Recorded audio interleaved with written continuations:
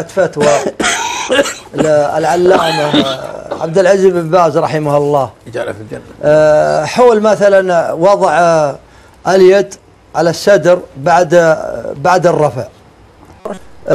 عندما رفع عندما من الر- من الركوع لم يردها ثاني استلها وقال آه، عليك الدليل عليك الدليل.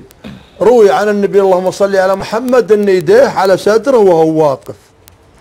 فإذا أردت مثلا تفرق بين بعد الركوع وقبل وقبل الركوع. فعليك الدليل. عليك الدليل لهذا الرجل. يقولها الشيخ ابن باز رحمه الله. هذا الرجل ما جاب دليل. فاللي ثابت.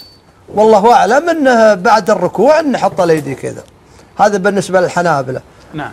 بس هذا اللي أنا فهمت طبعا منه ما ما يفسد للصلاة أي، ما يفسد، نعم. عمل هذا